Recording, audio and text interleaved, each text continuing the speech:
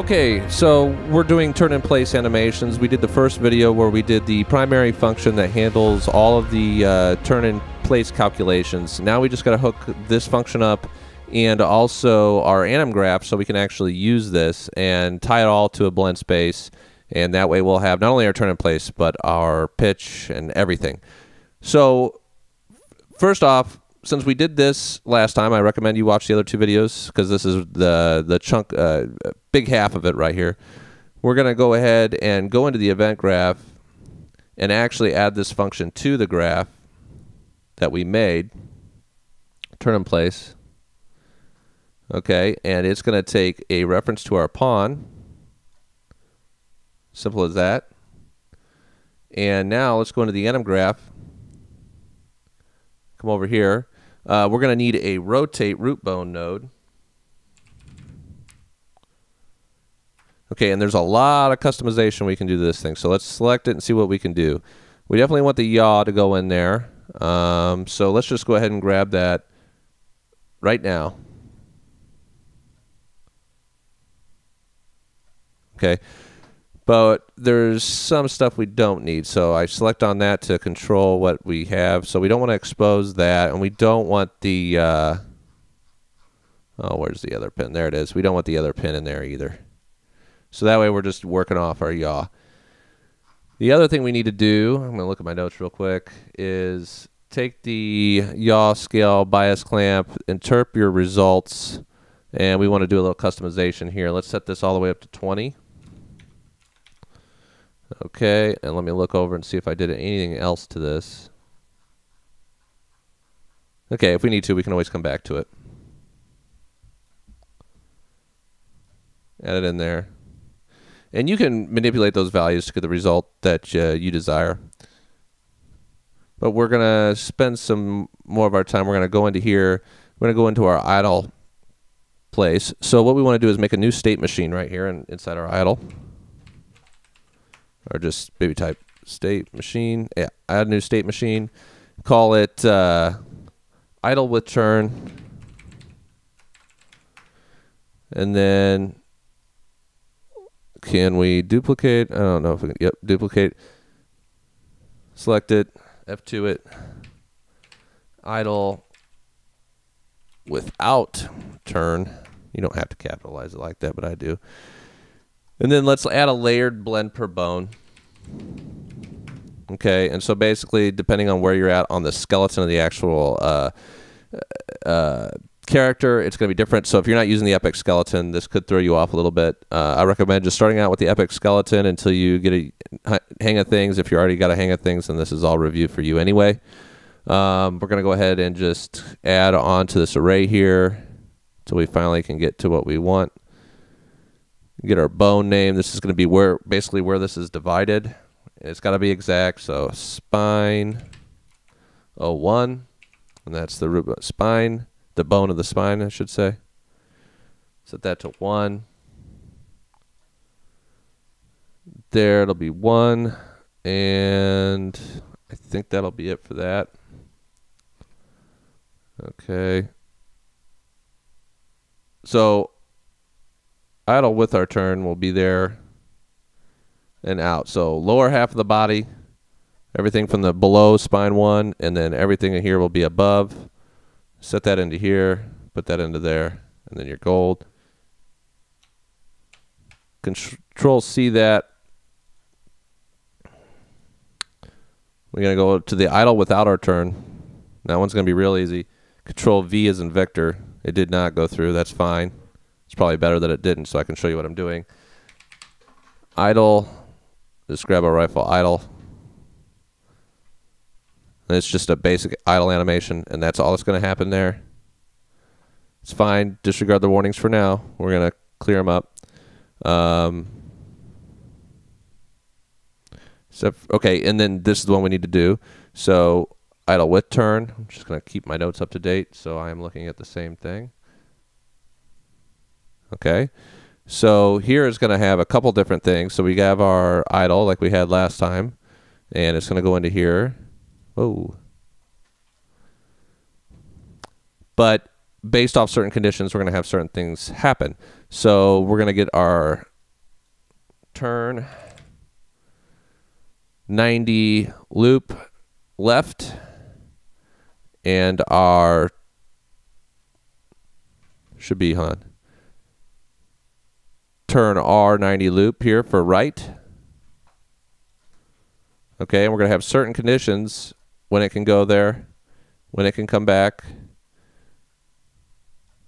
Same with the other way. Okay. So we messed with basic animations before. I've already explained how these are conditions to go into right. This is conditions to come out. Pretty simple stuff. But where it doesn't, where it's not so simple, are the conditions. These can get rather complicated. So let's work through it. So to go into our turn 90 right, we need to first off get our speed. Make sure that it is equal. If I can find the equal sign, that would be nice. Equal to zero. And these conditions are going to all be AND conditions. So let's drag off of here and say AND. So that means that everything has to be true that in this statement that I'm making right now. Hook it on up so we don't have to worry about it later on. We're going to get our root yaw offset and see if it's less than our maximum tip angle times negative 1.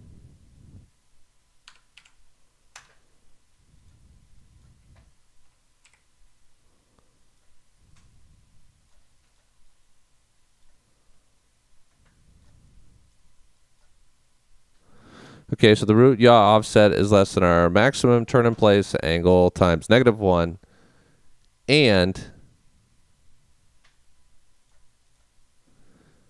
it's not in air.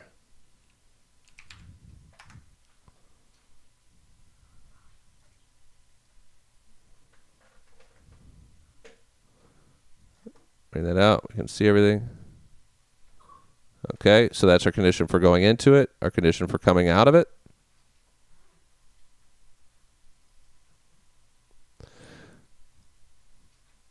Our time remaining. this always this part can always get a little confusing. Which uh, which one we're supposed to use here? I believe it's a ratio, time remaining ratio of our turn right. So basically, the animation is close to finishing. That's what we're going to detect.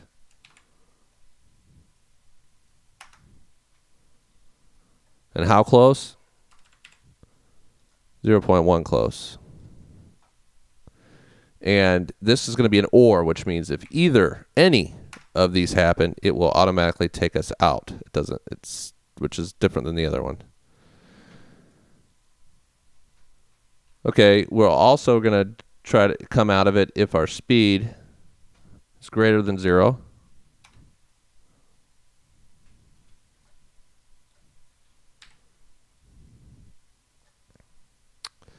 And or our root yaw offset, let's find that.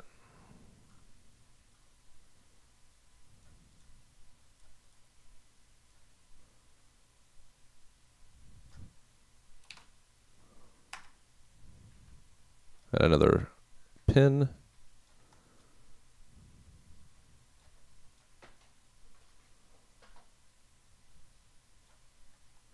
Then one more. Or we're in the air. If any of these conditions occur, get out of your turn in place animation immediately. Okay, so let me check, make sure I have that. If the time remaining on turn right is less than 0.1, if the speed is greater than 0, or my root yaw offset is greater than 0, or I'm in air, we will leave. Okay, so now what we want to do is we want to check if our what it takes to go into the turn 90 loop. And the turn 90 loop has to have some of the same conditions. Speed is equal to zero. Root yaw offset is greater than our maximum tip, turn in place angle.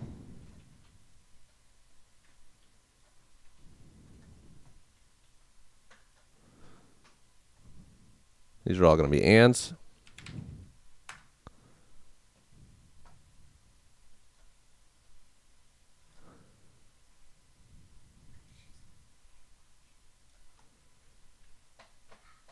And we're not in there.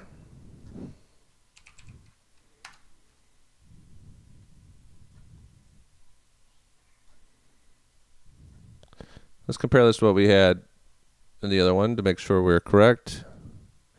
Here's the big difference. You see here the root yaw offset less than. To get into the other one, the root yaw offset has to be greater than.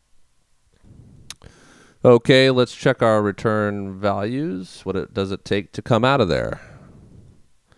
So time remaining.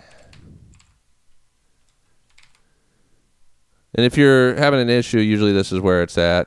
Uh, time remaining, let's do this one. Time remaining rifle turn left is less than 0.1. That means the animation's almost over. And these, remember, are going to be ors.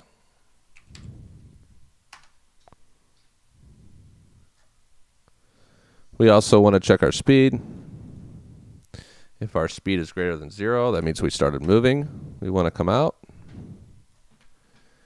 If we go suddenly into the air, let's say that that can count if we start falling for whatever reason. Okay, that looks like garbage. Let's fix that. Let's tie that up. Let's bring this over. Okay, and uh, or if our root yaw offset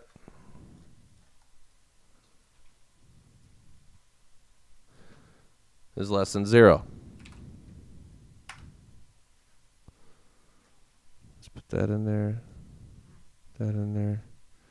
Compile. Straighten these out so anybody who comes looking at it will know what's going on. Okay, let's check over our work. Okay, went ahead and stopped the camera, checked everything. So far, so good. At least that's what I believe. Um, let's go ahead and do uh, one more thing here before we go.